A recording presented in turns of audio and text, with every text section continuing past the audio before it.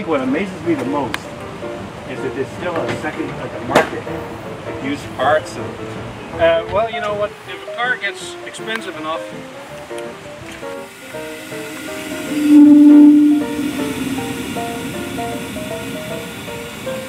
what you're looking for right here. Where the fuel goes over a pipe and it gets heated up. And then it gets blown into these nozzles, such oxygen, and that's what creates the flame, like a barbecue. Oh, I see it. Oh, wow. Eventually, you're not going to be able to see it anymore because it gets so hot. Uh-huh. it's not hot. white, white hot.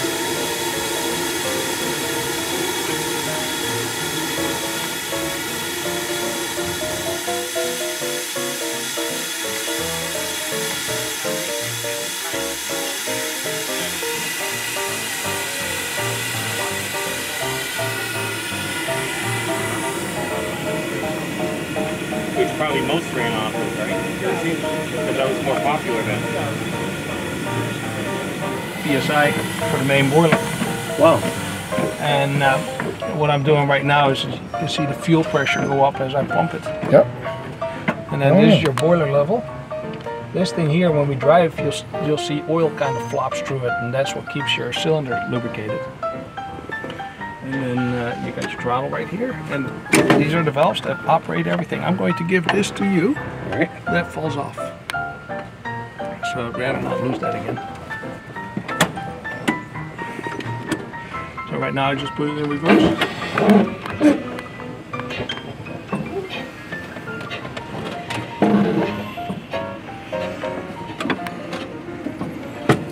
Sounds reminiscent of that movie, Chitty Chitty Bang Bang. Yep. Yep.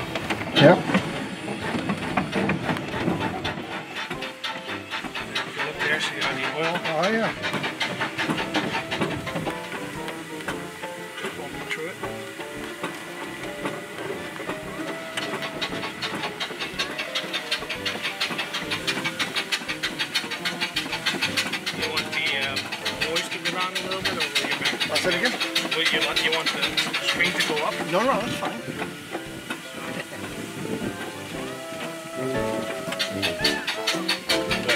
Great. Oh, I have no idea where that goes, so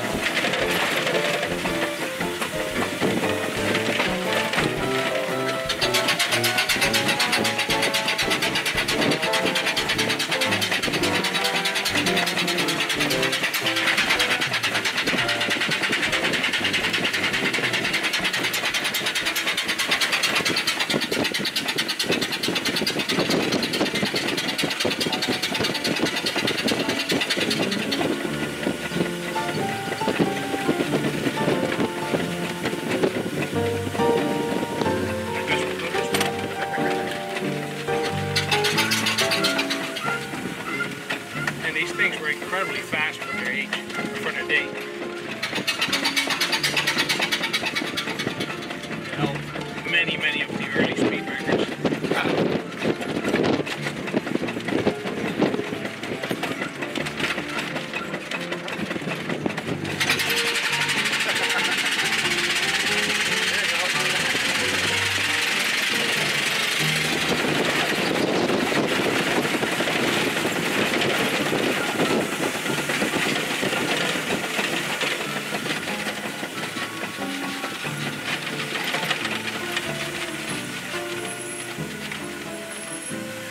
That's the last thing I expected to pull up behind.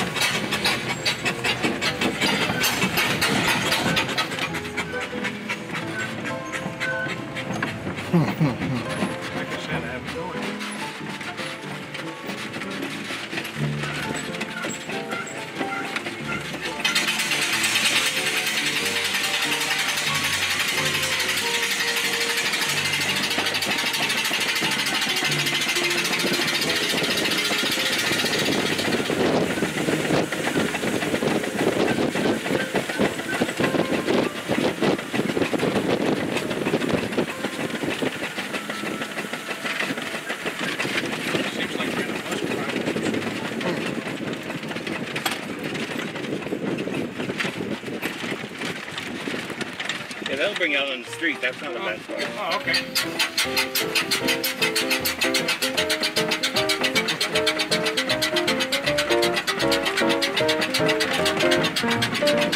Okay,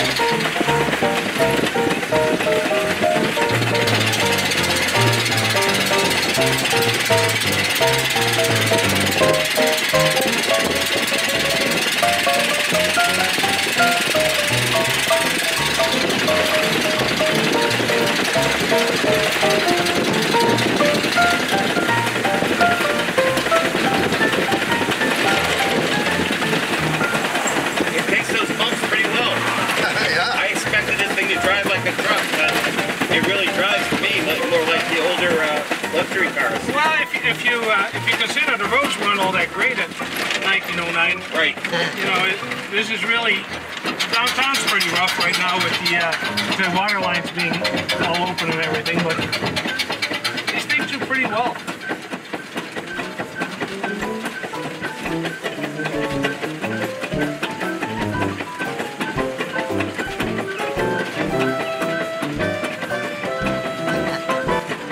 So was it you up from Alabama or was that the truck you're at? No, that's uh, that's a buddy of mine. Uh, I'm from Ohio. Okay. Do you have a much of a group? Uh, well, 26 cars. Okay. It's pretty much the entire the entire rolling stock of the eastern seaboard. these are not. Uh, there's not an awful lot of these things. Yeah, but it's, it's such a. I'm, I'm so glad you guys are together I, I, I because you're too. preserving. It's not only a particular brand of cars. It's a it's a whole method of transportation. So what he's going to do now, he's going to blow it down. So basically, what we did is we put we put today we put about 50 miles on this thing. Wow. So we put for every mile you use a gallon of water. Wow. And so everything that comes out of that water is, is you know, and when you boil it, uh, Sure. the, the condensate that comes out of it is, is uh, sterilized. It's Uh-huh. nothing. So all the crap stays behind.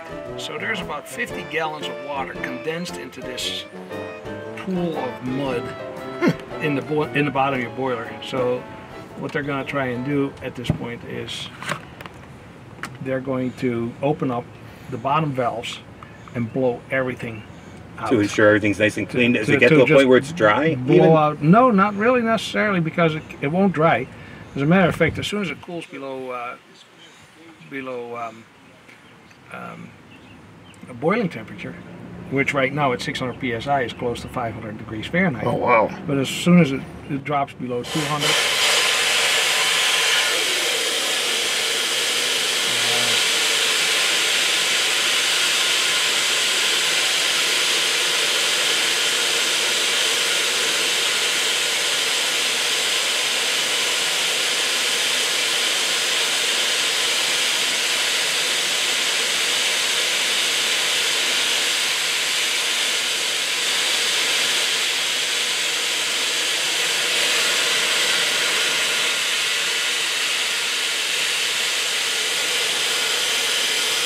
Could that sport somebody, or did it just dangerous?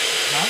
Does that sport somebody? That thing? It's a. you that- can, you that- can hold your hand in it about two feet away from there. It's superheated water, basically. Oh. So you get water at 500 degrees, comes out of there, expands into steam, and then flash boils off.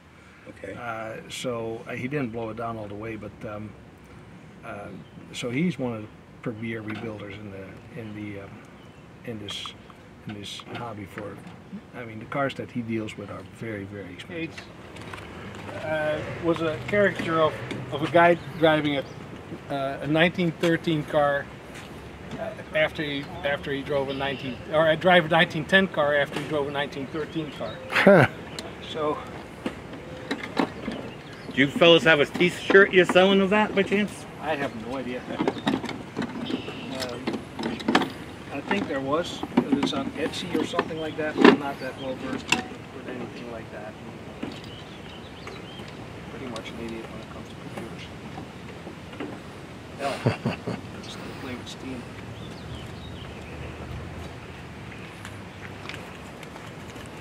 I think steam has a future. yeah, No, in this renewable energy future, Yep. wood is a good is a good alternative. Not a problem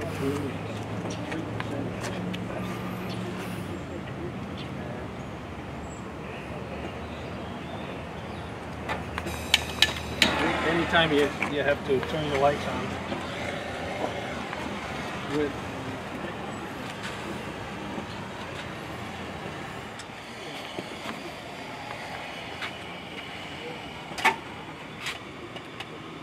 Hmm. How cool is that? Wow. yep. Not only can you light up the way, you can cook a hot dog. Yeah, right. So, what they used to do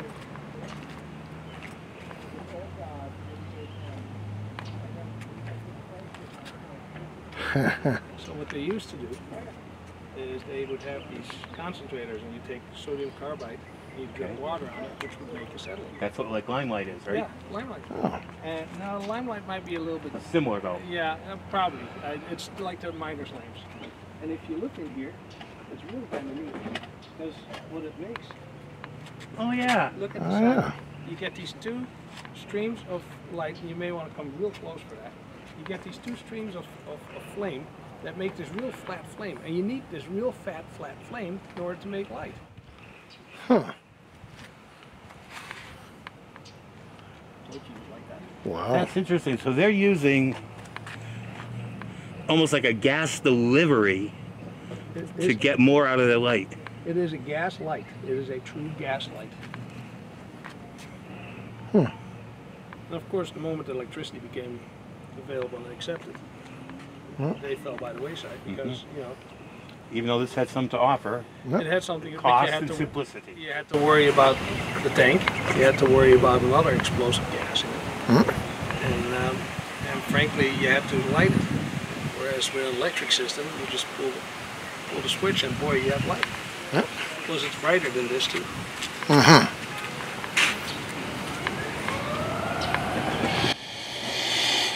Cool, eh? Yeah, went right out. Well, thank you very much. Thank you. Oh, you're very, very welcome.